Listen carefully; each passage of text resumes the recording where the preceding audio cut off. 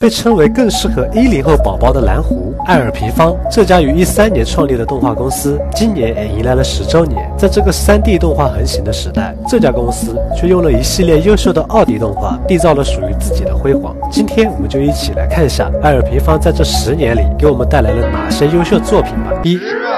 冷笑话。这是在艾尔平方成立之前，还是卢恒宇和吕书杰工作室时期制作的第一部喜剧动画，于二零一二年播出。在上线后的三天内，播放量就迅速突破一千万次。当时看的时候，我只有一个感觉，就是真的佩服编剧的脑洞，感觉没病个十年是根本想不到这些剧情的，更是塑造了两大无敌概念技能：银河也是河。还有李靖的百分百被空手接白刃，动画中类似奇特的脑洞还有很多，总是能直戳我们的笑点。肌肉兄贵哪吒，小金刚和蛇精成了夫妻，白雪公主和匹诺曹走到了一起。不要叫我大王，要叫我女王大人。好的，大王，报告大王，那老汉家就在前方。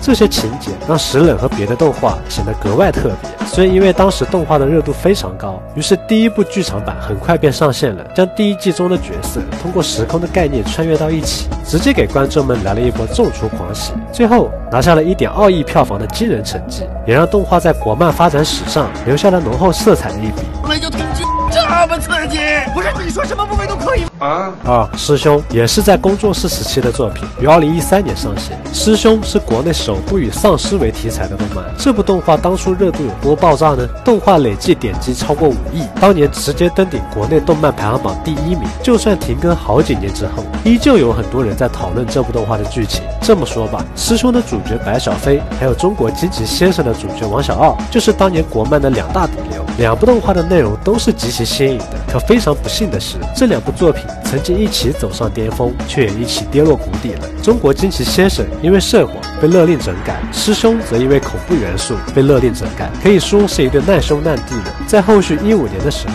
被整改后的师兄改名为叫白小飞，重新上线。不过这一季的制作团队已经更换为绘梦了，被整改之后的内容变味太多，走下坡路也是必然的局势。而且动画的前三集因为太过血腥暴力。到现在也仍然处于封禁状态。三镇魂街，其实说到这里的时候，相信大家对于这家公司的实力已经有了一个大概认知了。每一部作品都是曾经刷爆过网络的，镇魂街更是曾经被誉为国漫之光的存在。三国武将曹家兄弟互换身份的改编，再加上于禁的那一句“末将于禁，愿为曹家世代”。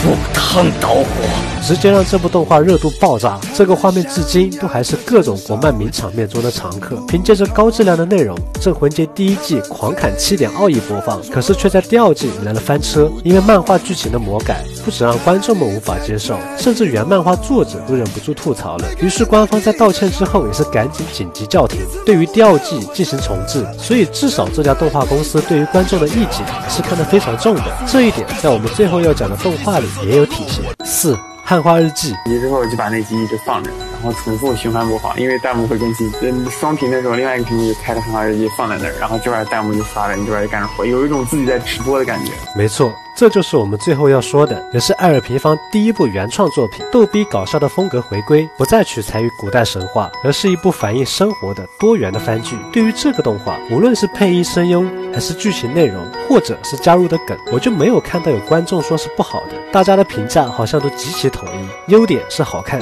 缺点就一个字短。这里建议学习匹诺曹，而且剧组也真的很会整活。插播个冷知识：苏莫婷婷哥原来真的是哥，是由汉化的总制片崔雅洁配音。日记的女主角苏莫婷作为爱尔平方第一部原创作品的女主角。啊啊啊！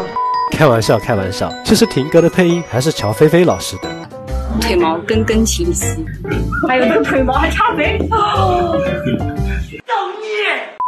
爱尔平方这家公司的人员，基本都是一些怀揣着动画梦想的年轻人。他们因为动画聚集在一起，看到这些年轻人就知道了，我们国产并不差。很多时候只是因为制作组穷而已。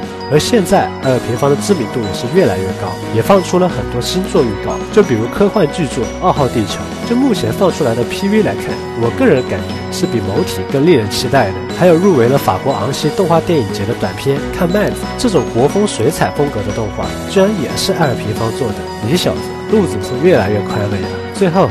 石冷传说仍在，镇魂街坎坷前行，汉化日记又带来新的震撼和感动。十年时间，卢恒宇和李书杰工作室变成了爱尔平方，他们是这么说的：过去他们是一家动画公司，未来成为一家真正的文化传播公司。希望他们能怀揣着初心和梦想，给我们带来更多的优秀作品。